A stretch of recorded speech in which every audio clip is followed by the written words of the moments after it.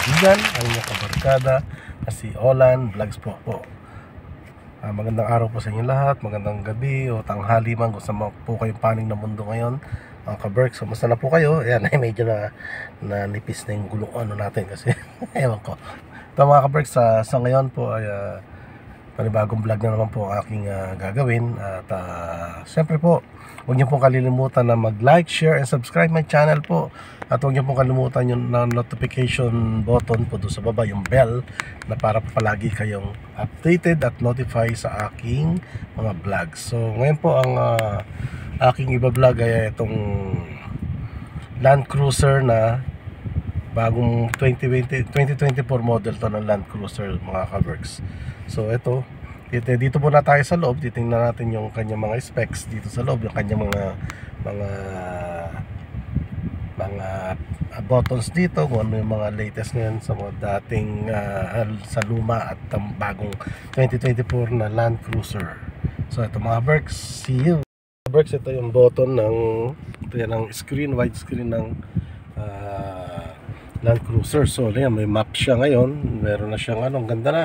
Dati ma, ma simple lang yung ano eh, yung yung monitor ng ng uh, tawag dito ng uh, Land Cruiser ng mga luma model. So, ito 2024 model to, updated na. Updated na siya. So, yan mga kabers, ito. Yan. So, ito yung kanyang uh, steering wheel. So may mga buttons dito na parang mga arrow, back, back siguro to, telephone. Ito yung sa volume control ng stereo. Yan mga kaberk sa ito yung sa side niya, black siya, leather siya. Oh. Made of leather talaga siya. Yan maganda. Hindi siya plastic pero plastic siguro yung nasa loob pero ano siya, coated siya ng leather lining. So yan mga kanya mga sa window, ito yung door lock. So yung door ito yung sa power window. Yung power window yan. Ito ang switch ng power window. So ito yung switch po ng mga upuan. Kung gusto mong L1, L2, L3. Set. Yan ito yung ano. So yan maraming buttons dito rin sa baba. Ito yung sa aircon. Yung dagdag ng hangin kung gusto nyo. Yan ang aircon niya. Ito naman sa power at volume ng stereo. Ito yung sa mga kung malwa naghahamog ito yung sa front eh yung sa rear sa likod. So ito naman yung mga settings dito sa puan dito sa side na to. So yan. So ito yung kanyang mode. May mode siya drive mode. Meron siyang MTS DAC roll. Siguro kasi 4 wheel drive to eh siya. Ito yung switch niya sa mga sa kanyang 4 wheel drive. Ito, ito, ito yung kanyang uh, cambio. Meron din siyang charger wireless charger. So yan mga kabarketa yung sa engine niya keyless siya. Yan keyless yung engine niya. Ito yung kanyang panel. Dashboard panel yan.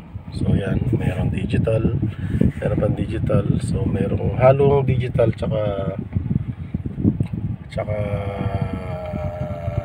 analog. Yung kanya ano.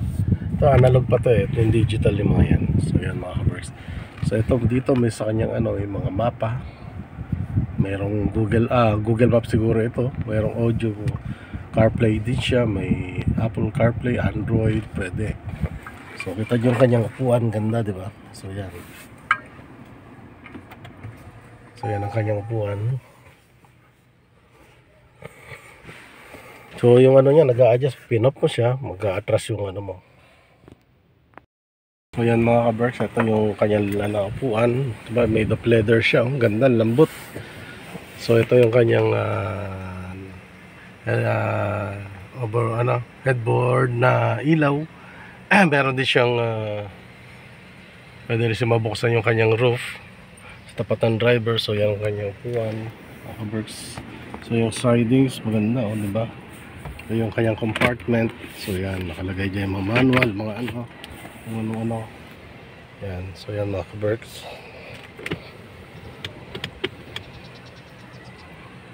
Ito yung ano, ganda ng leather yan may mga compartment pa yun dyan. Ano yan. So yan mabuo diba? Mga compartments. So yan kag ganyan kagandang land cruiser mga kaberks. So yan. Sa kanyang likod likuran. Ah, so bali ano to eh. Eh, additional pang upuan yata dyan. Hindi ko lang alam. Ah, wala na yata. Ito lang. So yan lang mga ka-Berks. Ito 1, 2, 3, 4 kung ano. Mga 5 seaters siya. May aircon ano rin dito. Ventilation. So dyan na control. Pwede na sa iyo kung anong gusto mo lamig. Yan ang kanyang ilaw. LED na. Ganun din dito, may speaker, JBL pa oh. Gandang brand oh. Ganda ng tunog yan, JBL. So yan mga ka-Berks, kunain siya. Leather. So yan. So ito lang, ah, quick ah, review lang naman to dito sa Land Cruiser. So yan. Yung bago Land Cruiser, Toyota Land Cruiser 2024 model. So yan mga ka-Berks. Kaya siya kagawa po mga ka-Berks. Oh. So, yan.